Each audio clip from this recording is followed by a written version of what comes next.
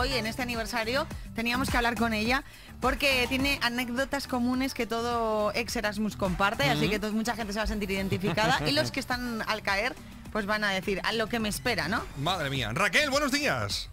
Hola, buenos días, ¿qué tal? ¿Cómo estás? Hola. Muy bien, aquí esperando para hablar con vosotros.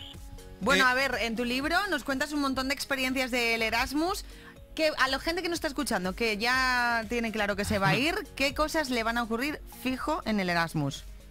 Le van a ocurrir millones de cosas, pero para empezar, por ejemplo, ahora que están a punto de empezar la beca, eh, les diría que, que cosas como la maleta que tengan ya pensada y planeada, que la reduzcan a la mitad, porque ese tipo de cosas que todo el mundo mete al principio, tipo mi líquido de las lentillas, eh, mi marca de champú, todo eso, que lo dejen atrás porque se van a una ciudad europea, no a un pueblo de la selva camboyana, así que va a haber de todo, y, y que dejen espacio para, para meter comida, que es lo que importa y lo que van a, lo que al principio en la vida social. Eso es. De Hablemos de verdad. la comida, que esto es importante. Mucha gente cuando está de Erasmus echa de menos el jamón, el fuet y esas cosas. Eso es cierto, ¿no? Eso pasa, ¿no?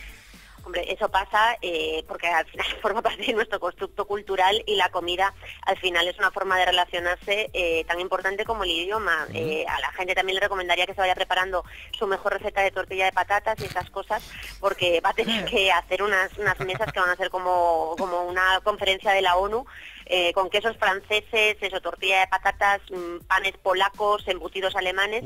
Eh, así que nada, que vayan preparando el paladar y, y que lo tengan muy abierto igual que la mente. ¿Cuánto embutido habrán reclutado en los controles de acceso de los aeropuertos a madres que van a visitar a sus hijos al extranjero ¿eh? en Erasmus?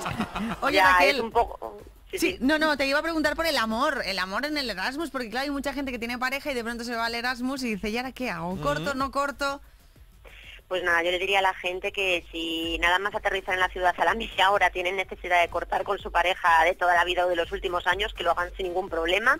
Que si creen que su pareja puede sobrevivir al Erasmus, adelante, porque es posible, eh, ha ocurrido, se han dado, se han dado casos. Si creen que su pareja formada en el Erasmus puede durar, eh, adelante también, porque, eh, porque puede ocurrir y que se dejen llevar y que vayan muy abiertos y que recordemos todos que la mejor forma de aprender un idioma es siempre en la cama. Así que es Ah, una mira. forma de intercambio cultural muy importante también. O sea, eh, hay una leyenda que dice que lo primero que se aprende de un idioma son los insultos y el amor. Sí, siempre, siempre. O sea, los insultos que es como el lenguaje básico, eh, la forma de comunicarse esencial que vas a tener con la gente a la que conozcas. Y, y además en muchos, en todos los idiomas, porque te puedes ir de Erasmus a Italia y Sí. aprender insultos en alemán o, o, mm, términos cotidianos en inglés. Así que nada, que te prepares para construir frases en cuatro idiomas a la vez. Sí, para insultar si somos Europa. Eh, Raquel, se dice que las parejas no suelen sobrevivir, como tú has dicho, pero el cliché máximo es si tu, si tu pareja se va a Erasmus, se acabó. ¿Qué porcentaje, como experta, dirías que hay de, que tu pareja y tú sobreviváis a, a un Erasmus? Buf, yo diría que puede ser de un entre un 5 y un 10%, pero todo es posible y Oh. todo puede ocurrir.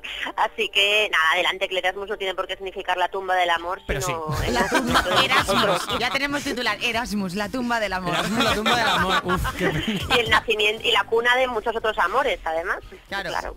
Bueno, pues Raquel Piñeiro, que sigas teniendo mucho éxito con ese cómic que se publicó en 2015, cosas que nunca olvidarás de tu Erasmus. Te seguiremos la pista, ¿vale? Un besito muy grande.